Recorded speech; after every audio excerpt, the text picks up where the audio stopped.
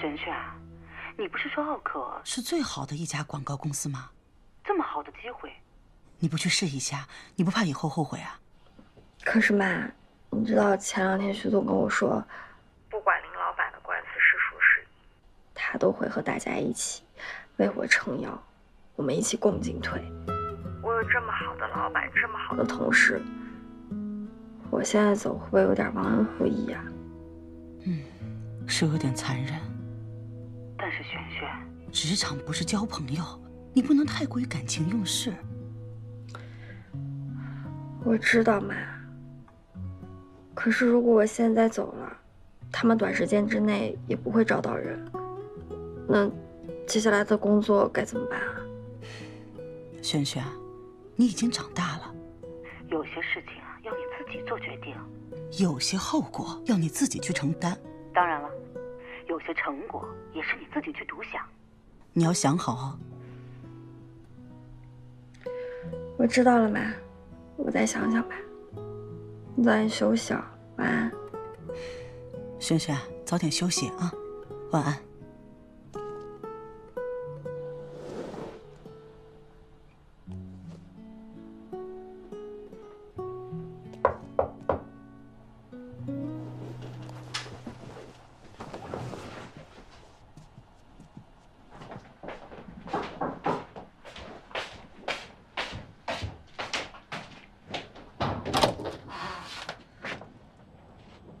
李首席，李首席，您喝水，谢谢。你怎么突然来找我了？怎么不欢迎我吗？哎呀，怎么会呢？是不是方案出什么问题了？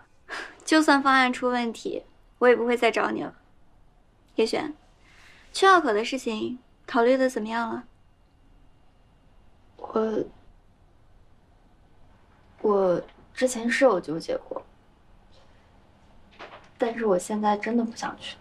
去奥可可是每个广告人梦寐以求的机会，你不想吗？我，你放心，我今天来不是劝你留在巴巴爱德的。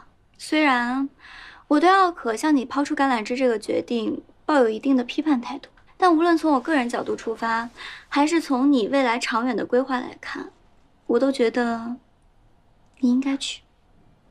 李首席，那徐总的意思，老徐这个人呢，比较感性，年纪越大反而越矫情。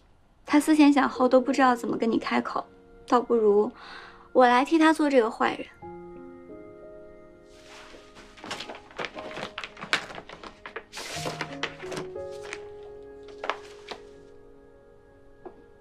叶璇，经过我和徐总的慎重考虑，觉得你不太适合巴巴爱德设计师的这个工作。我今天来是正式通知你，你被辞退了。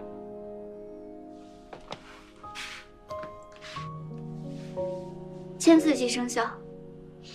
希望你能没有后顾之忧，勇往直前。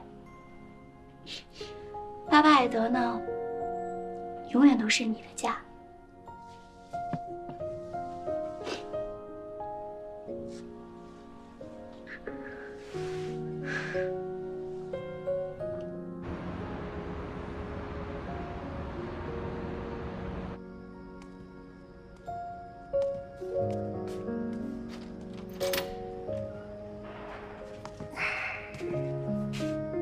干嘛呢？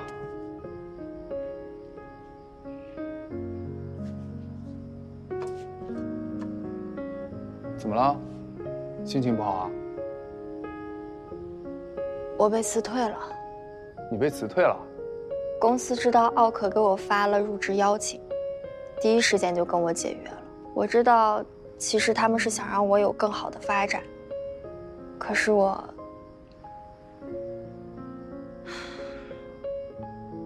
像是老徐能做出来的事情。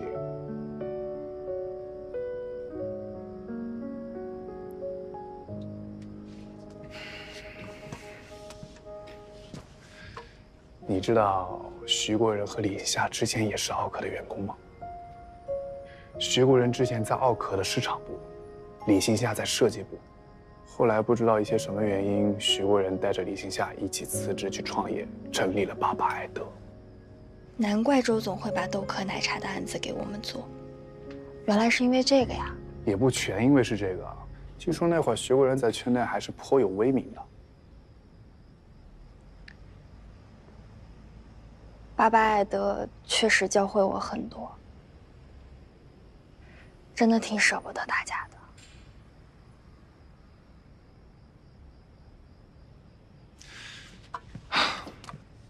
别难过了，你看，大家都这么支持你，你以后要做出更好、更有创意的设计，别让他们失望。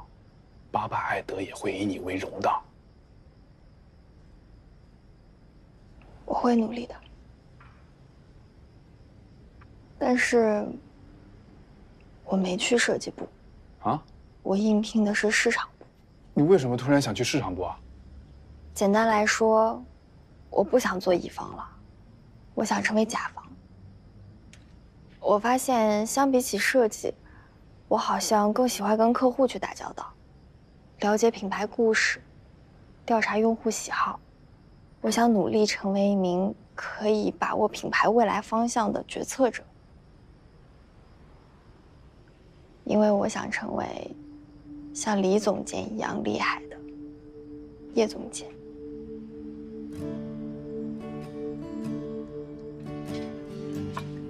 李泽南，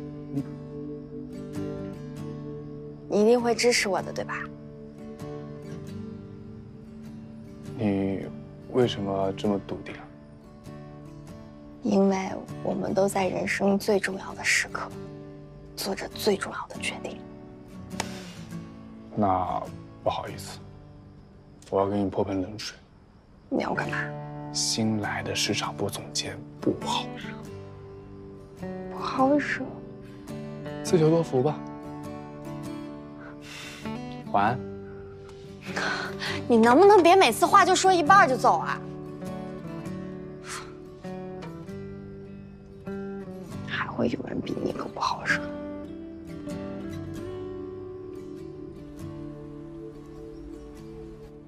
哦，你既然已经决定了，你就要好好的干下去。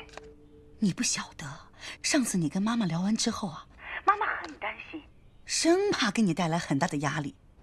你放心吧，妈，我能有什么压力呀？我现在正吃着牛排，喝着红酒，舒服的不得了呢。是不是啊？